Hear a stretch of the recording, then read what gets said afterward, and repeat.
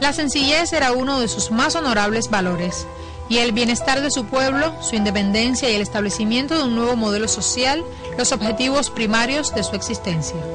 Fue por esos principios que, bajo los seudónimos de Norma, Carmen, Liliana y Caridad, integró el movimiento 26 de julio y contribuyó a las acciones revolucionarias contra el dictador Fulgencio Batista.